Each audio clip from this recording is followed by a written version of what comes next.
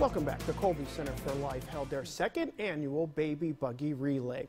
Running shoes on and decorated baby buggies. People took to the track. Of course, there were no babies in the strollers. they took to the track at Cavalier Field in Macon. The Kolbe Center for Life is a pro-life organization that helps pregnant women. Each year, they help about 100 women. All the money raised for the Baby Buggy Relay will be used to support those women they help.